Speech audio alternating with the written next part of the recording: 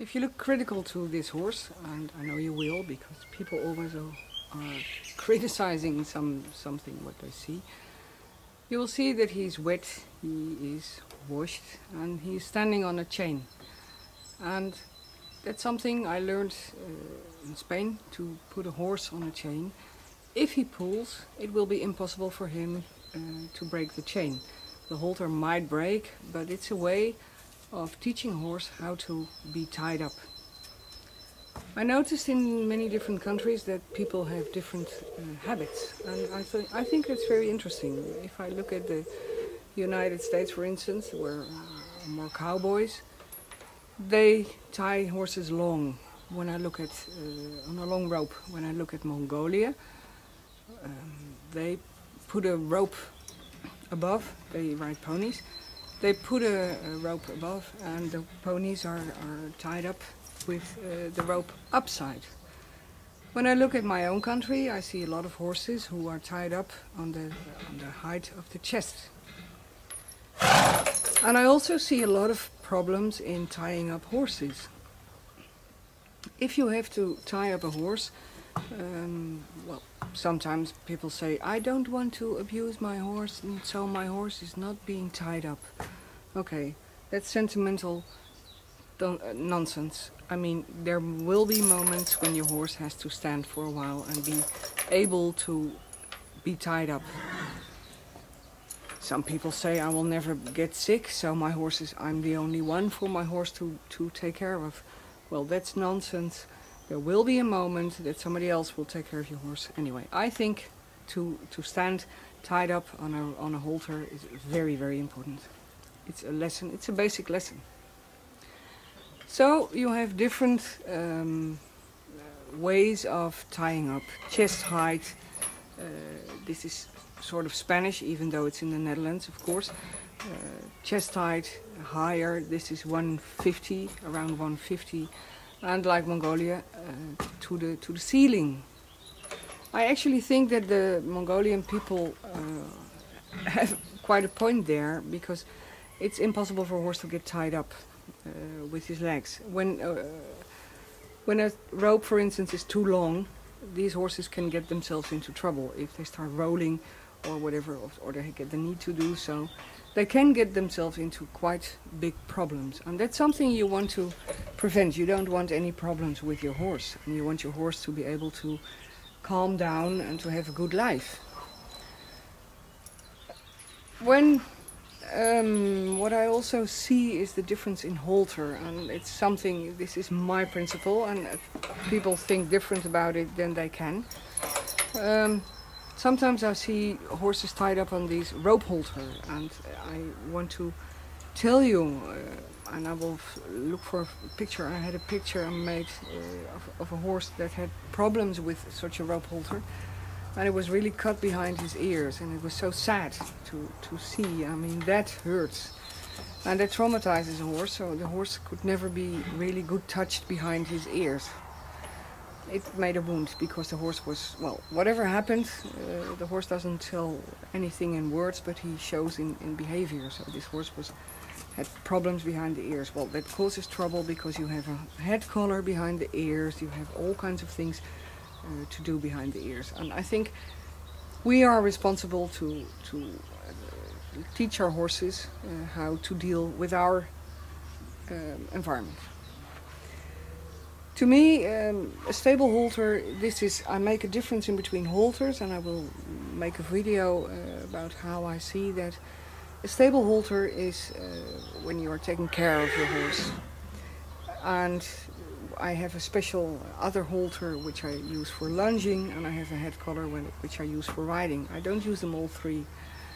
It's a principle I learned from somebody, uh, actually a stallion um, owner who had breeding stallions and who said when I put on this head collar of, of, of the horse, he knows he's conditioned, he knows we are going to um, do breeding.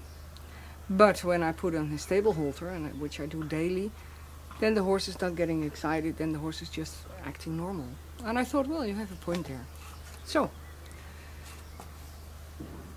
that's what I want to tell now about um, haltering a horse and teaching a horse without being there, teaching a horse how to stand still. I didn't teach him this. Uh, actually, he was he was trained in Spain, and he they they did a marvelous job. They made a real real calm, balanced horse from him.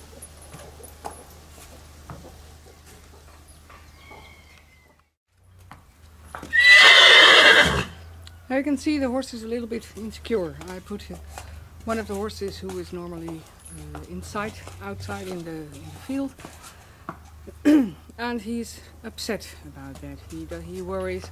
He wants to see all the horses. He's a stallion, still. I'm not going to feed this behavior. I'm just letting him find out himself what should be the best solution. And he knows because he has learned this before. He knows that the best solution for him is just to calm down and just wait until something else is happening. You can see him already calming down. Why do stallions shout so much? They use their voice pretty much. That's very easy answer. They do it to know where the other ones are. Normally they another stallion will answer and so they will know where everybody is. He's a little bit worried because, uh, well, the white one is out of sight. He can't see him now. He can see another horse still, but here you see the excitement. Yeah, it's it's pissing, uh, urinating. Pissing is might be a word that upsets you. urinating a little bit, and it's um, well, it's excitement. I'm not going to feed this behavior. If you feed the bad behavior or the behavior actually you don't want, I mean it's totally normal, perfectly normal horse behavior. I can't blame him for being horse and I can't blame him for being a male horse, being a stallion still. So I'm not going to to feed this behavior. I just noticed that my neighbor also put his horse outside and that excites him too. So for him it's a pretty exciting moment. Still, still, he learns by being on on the chain, by being himself, nobody interfering his thing. He learns that the best thing he can do is just wait. That's all. And he's pretty young. He's seven years old, so that's pretty young. Ah, there's the neighbor putting the other horse outside. So he will be excited again. Try to focus on it so you can see what excites him. You see?